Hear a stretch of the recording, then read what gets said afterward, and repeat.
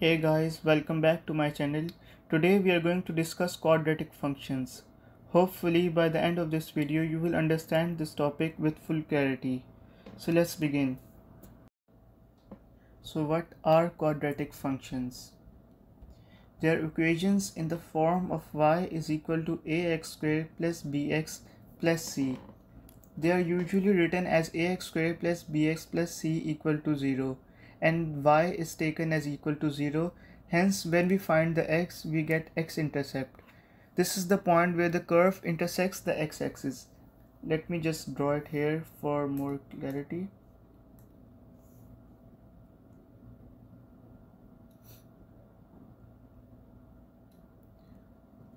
Like this. These two points are the points we usually find. This is where the y is equal to 0 and the condition for this is that the coefficient of x square which is basically a should not be equal to 0. The shape of the curves we will draw will be a u-shaped parabola with symmetry just like the above one I drew. You can imagine this as when you throw a ball for example like this or when a cannon shoots for example like this something like this Alright, let's check out the parabolic graphs. So first we are going to check the graph of y is equal to x squared and as you can see here it's a u-shaped parabola with symmetry. So let's check when the coefficient is minus 1. As you can see here it inverts itself. Now let's check some more parabolic graphs. As you can see here, the y-intercept has moved 1 up. This is because when x is equal to 0, y is equal to 1. The same thing with minus. Alright, let's check some more complex parabolic graphs. As you can see here, this is one of them and this is the other one. Alright, so let's check out how to find the coordinates of these graphs. So let's take the equation y is equal to x squared and input the x values from minus 3 to 5. As you can see, I drew a table over here with all the values. When you put these x values into the equation, you will get these y values. f of x is equal to y. So this is the graph we will get just like the before one. Uh, this will take a lot of your time so let me show you an easier method to find the coordinates. Let's find them through the calculator. So first of all go to your calculator, press mod, mod then go to table, press 7, then enter your equation. Remember f of x is equal to y. Now they will ask you for start. This is the starting value of x and this is the ending value of x. Then they will ask for step and this is the difference between the values. For example, 1, 2, 3.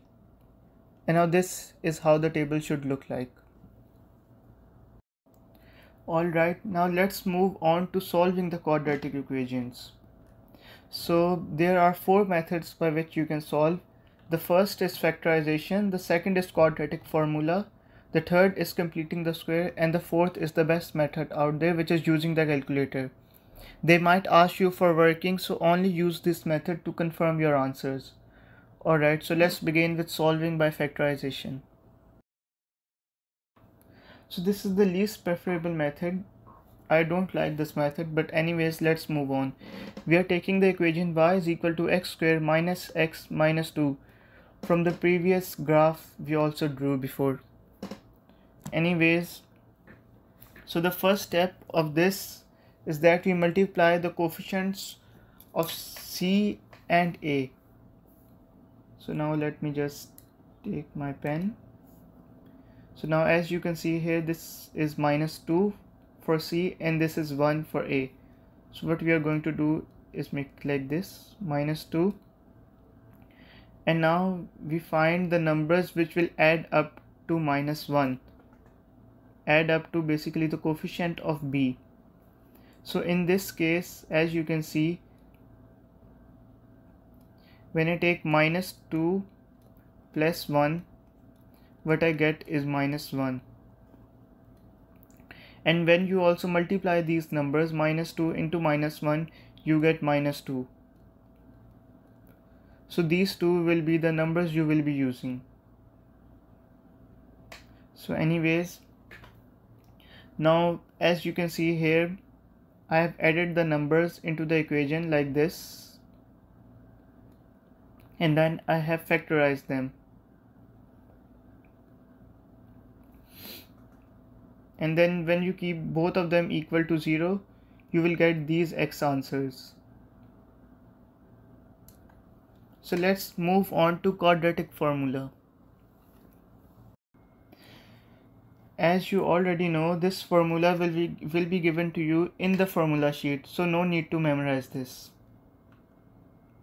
So let's take the same equation again. Y is equal to x square minus x minus 2 now you can check the coefficients of each of these a, b and c. So a has the coefficient 1 and b has the coefficient minus 1 and c has the coefficient minus 2. Now all you need to do is put them into the calculator and you will get your answers. Now let's move on. So now we are checking the method completing the square. This is also not a preferable method, but anyways, let's do this. Let's take the same equation y is equal to x square minus x minus 2. What you do is divide the coefficient of b by 2. In this case, it is minus 1, so minus 1 divided by 2 is equal to minus 1 over 2.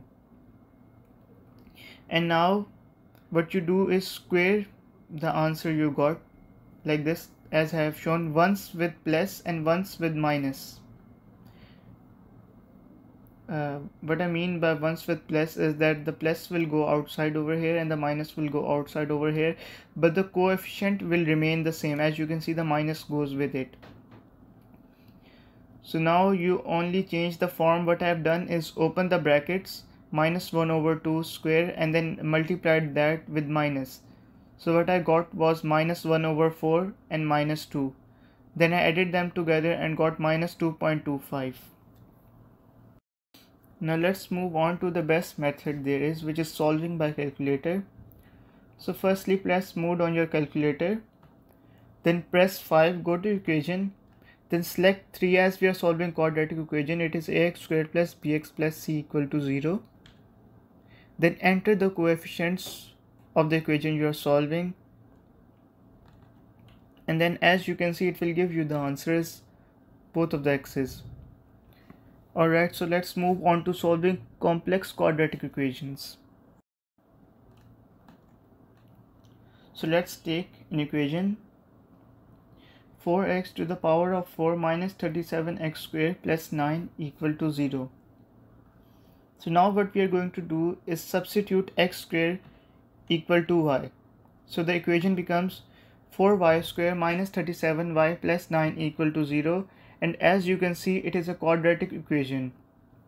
So now you can what you can do is put that into the calculator as I have shown you before and you will get the answers y equal to 9 and y equal to 1 over 4. Then what you can do is put the substitution back x square equal to y and as you can see x square equal to 9 x square equal to 1 over 4 and then what you can do is take the square root on both sides. You will get don't forget to take the square root with both plus and minus. This is the main thing. Alright now let's move on to solving simultaneous equations. Let's take two equations. Equation number 1 is 2x plus 2y equal to 7 and equation number 2 is x square minus 4y square is equal to 8 so first what we are going to do is rearrange the equation number 1 like this. 2x plus 2y equal to 7 x is equal to 7 minus 2y over 2 then what I'm going to do is put that into equation number 2 what I have done is taken the uh, taken the rearranged equation that I got for x and then plug that into equation number 2 so now it becomes 7 minus 2y over 2 squared minus 4y squared is equal to 8 now what we are going to do is open the brackets and this is the equation we are going to get. 0 is equal to 12y squared plus 28y minus 17 now what you're going to do is use the calculator method I showed you before. Y is and you will get the answers. Y is equal to 1 over 2 and minus 17 over 6 now just input this value into the rearranged equation number 1 we got and now you're going to get the x values x equal to 3 and x equal to 19 over 3 now let's move on to finding the max and minimum value of a function so there is a general rule that we are going to discuss. Firstly, if a, the coefficient of x square is greater than 0, then curve has a minimum point. So now let me give you an example using the graph of y is equal to x squared. Let me get my pen. As you can see here, the minimum point is over here when x is equal to 0 and y is equal to 0. So now let me give you the other general rule. If the coefficient of x square is less than 0 then the curve has a maximum point. Now let's use the graph of y is equal to minus x squared. As you can see over here, it has a maximum point. It goes, it opens like this. Remember these two general rules. Now we are going to move on to finding the maximum and the minimum value of these graphs.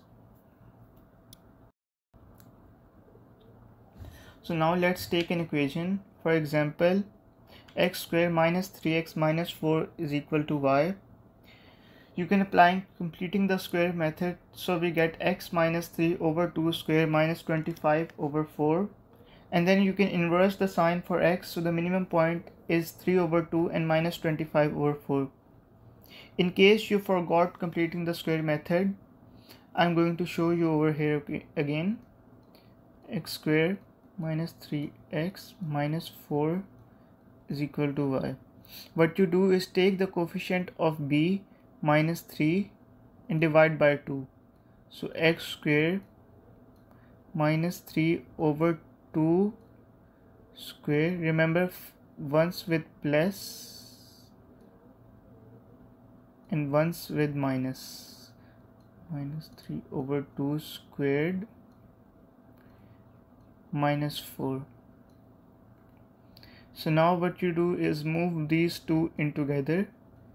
X minus 3 over 2 squared. And then as you know the brackets are going to open. And minus 3 into minus 3 we get 9 9 and 2 into 2 9 over 4 and it's going to become positive but then it's going to become negative again as there is a negative outside the brackets. So minus 9 over 4 minus 4 and when you put these into the calculator what this becomes is x minus 3 over 2 squared minus 25 over 4 this is what you're going to get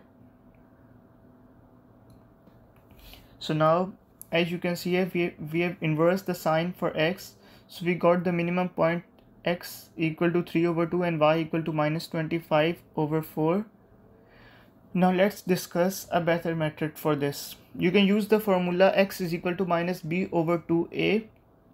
This will give you the value of x. So for example, let's see the coefficient of b is minus 3. So minus is equal to minus 3 over 2 times the coefficient of a is 1. So minus 3 over 2. So what we get is 3 over 2. As you can see, this is the value of x minus into minus becomes positive and you get 3 over 2 when you put this into the equation that I have mentioned you will get the y value of minus 25 over 4 Alright, so now let's move on to solving quadratic inequalities.